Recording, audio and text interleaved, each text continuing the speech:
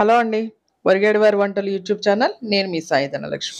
ఈరోజు గుమ్మడికాయ బెల్లం వేసి ఇగురు పెట్టుకుందామండి. చాలా టేస్ట్గా చాలా బాగుంటుంది. నాకైతే చాలా ఇష్టం. ఇది ఎంతమందికి ఇష్టమో కామెంట్ కూడా చేయండి. అలాగే మీరు ఏ విధంగా వండుతారో కూడా చెప్పండి. గుమ్మడికాయ కూరకు కావాల్సినవన్నీ అండి. ఒక ఉల్లిపాయ తీసుకున్నాను. సన్నగా చిలికిల్లాగా కట్ చేసేసుకుని దీంట్లో ఉల్లిపాయ ఎక్కువేం పట్టదండి. అలాగే పచ్చిమిర్చి కూడా నాలుగైదు తీసుకుని కట్ చేసేసుకుందామండి. అలాగే చిన్న సైజు గుమ్మడికాయ అనమాట అండి. గుమ్మడికాయల్లో చాలా పెద్ద పెద్దగా ఉంటాయి కదా. ఈ చిన్న సైజు చూసేసరికి దీన్ని ఎలా అయినా సరే కర్రీ ఉండాలని అనిపించి తీసుకొచ్చాను. హాఫ్ కేజీ కూడా లేదండి అది.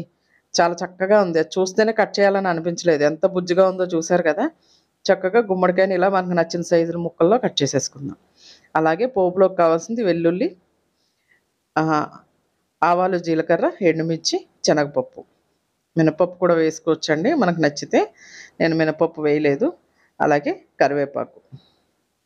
పోపు చక్కగా వేగిన తర్వాత ఉల్లిపాయ పచ్చిమిర్చి కూడా వేసేసి వేయించేసుకుందామండి దీంట్లో ఈ కర్రీలో ఎక్కువగా గ్రేవీగా ఏముండదు ఎందుకంటే ఉల్లిపాయ కూడా ఒకటే తీసుకున్నాం కదా.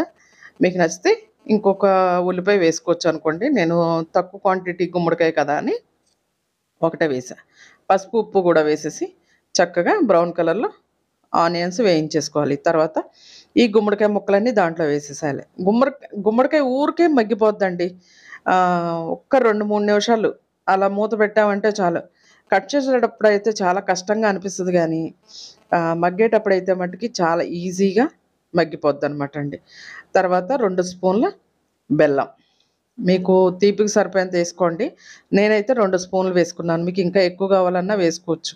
ఎందుకంటే గుమ్మడికాయతో అంత టేస్ట్ వచ్చేస్తుంది బెల్లం వేసేసరికి. చాలా బాగుంటుంది అనమాట అండి.